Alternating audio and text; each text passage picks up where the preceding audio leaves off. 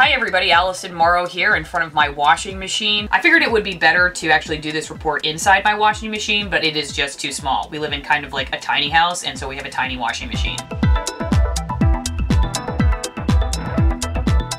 I guess I could do the whole video like this, but it just feels kind of weird.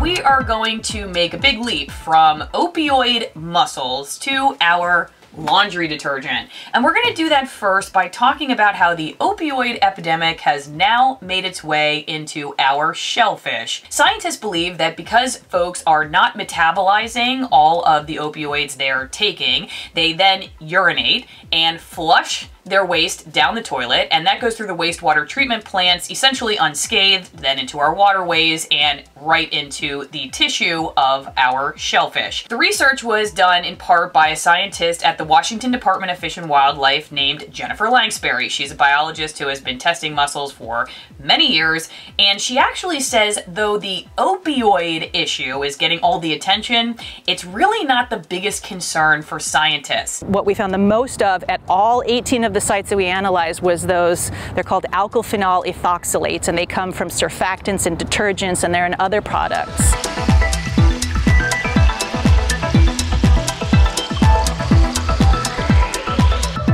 They're in the Puget Sound, and they likely are having these estrogenic effects on, you know, on the reproductive systems of the fishes and maybe the shellfish out there. Jennifer uses the word estrogenic a lot. So an estrogenic effect means that the chemical is able to get into the animal system and affect the animal as if it's receiving extra estrogen in its system. So uh, for some fishes, it might cause female fish to become reproductively active before they're ready. For male fish, it may start to feminize them. Um, we have um, evidence of male fish in the Puget Sound uh, starting to produce egg yolk proteins, which male fish should not be producing. Okay, so male fish are creating egg yolk protein, which is actually what female fish are supposed to do. So we have these endangered salmon and they're having potential survival issues because our products have an estrogenic effect on them, basically turning the male fish into female fish. We are putting our wildlife through hormone therapy. The problem though is that that therapy is actually not achieving the results that we would like, which is the proliferation of the species itself.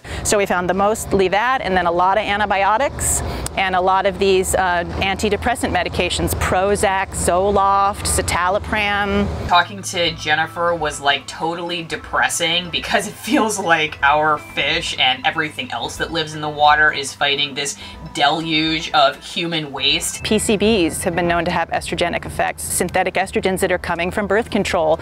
Um, there, there, are other um, uh, phthalates that are in plastics, um, plasticizers. They have estrogenic effects too. So, so there's kind of a number of chemicals that have those estrogenic effects. And then the antidepressants exacerbate that problem because they have this synergistic effect and they make the estrogenic compounds more active in the fish. And we're making it worse with things like detergent. A really simple solution is just buy detergent that's more eco-friendly. And I guess what I want to say is, please start thinking about your choices. Your choices matter. Your choices matter. I use seventh generation for my laundry. I also use it for my dishwashing soap. I've tried changing my laundry detergent, my dishwashing soap, my hand soap in the bathroom, my shampoo, my conditioner, my cosmetics, my lotion. It's unbelievable where all of this stuff hides. We may be having an impact on the environment that you can't really see that you can't see. Yeah, absolutely. So you know, you, once you get into the water, you can't see these chemicals floating around in the water, but that doesn't mean that they're not there, and they're you know they're likely or potentially having effect on the fish and shellfish. You know, some of the chemicals that get into the water from our detergents have estrogenic effects, so they're affecting um, the estrogen in the fish, and that could affect their reproduction. Some of the other chemicals have synergistic effects, like the uh, antidepressants can make the detergents more estrogenic, and so you know you have a cocktail mixture floating around in the Puget Sound and we're not really sure what all of those effects are, but with the mussel monitoring, we can start to at least see what's out there. I will say that at least what it taught me is that some of these bigger problems that kind of paralyze us are actually sometimes less important than the little things that all of us are doing day in and day out. So if we were to just change one thing or two things that maybe aren't big things, but they're small things we do a lot of that actually we might make a big difference. And so I hope that's a takeaway of this video that hey, there's always something that we can do.